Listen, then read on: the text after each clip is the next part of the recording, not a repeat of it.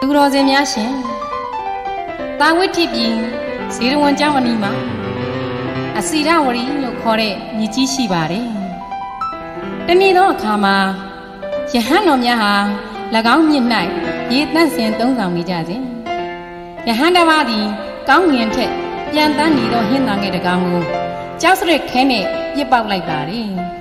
အဲ့ဒီအဖြစ်ကိုကြံယဟန်များကဖျားရှင်ထံပြပြင်ကြရာ ပါဏာတိပါဒကံကိုအကြောင်းပြု၍ဂရုဓမခေါ်လေးနဲ့စွာစောင့်ဖင်းရမည်တရား၅ပါးသီလကိုဟောကြားတော်မူပါလေအဲ့ဒီနေ့ကတော့ဂရုဓမအခါတော်နေ့တော်တလေးလာပြီးနေပဲဖြစ်ပါတယ်ရှင်လောကကိုဆုံးမလီတော်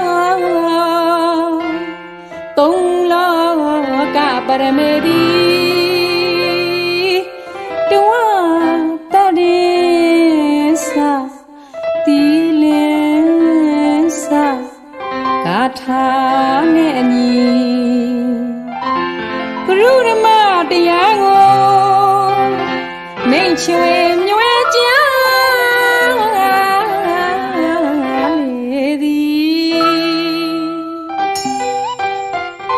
သာဝိထိနေပြီ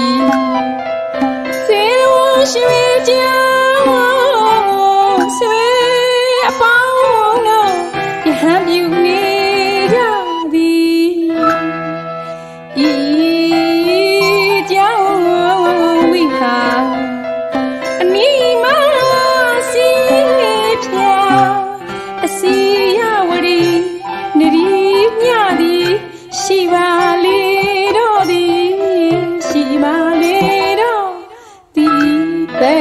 ငွေတန်း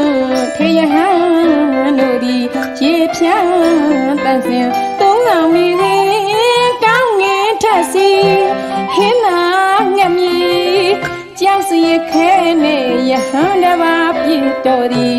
အဲ့ဒီအဖြစ်ကိုပါလာသည့်တန်ဃာကြီးပါဏာတိကံကြီးဘဂဝါကြီးနံရှိပံသည်အ တိတ်ကိုမြွဲဟောကြားသည်မြတ်တရားမြည်ဇတ်သွားညီမတထားရမည်အတိတ်ကိုမြွဲဟောကြားသည်မြတ်တရားမြည်ဇတ်သွားညီမတထားရမည်ငါမပြင်သတိတရားတို့မြတ်ဖယားမုကပကရုဓမ္မခေါ်သည်တော်တလင်းလာပြီမှာသောသွင်းဓမ္မရွှေစီ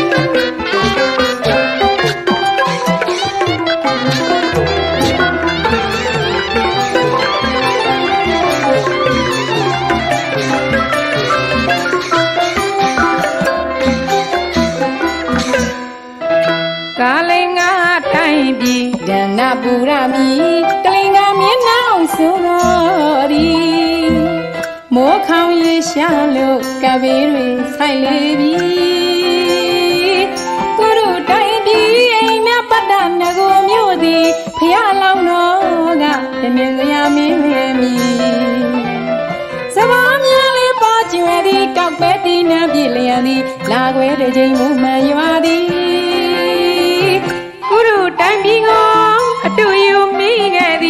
သည်ကရုဓမတရားမြတ်ကာလင်ကတခွင်ပြီးမြင်သည်တရားထုတ်ကိုခါဝလုံးမြဲလေပြီအတိတ်ကိုမြတ်ဟောကြားသည်မြတ်တရားမြည်သတ္တဝါညီမတာထားရမည်အတိတ်ကိုမြတ်ဟောကြားသည်မြတ်တရားမြည်သတ္တဝါညီမတာထားရမည်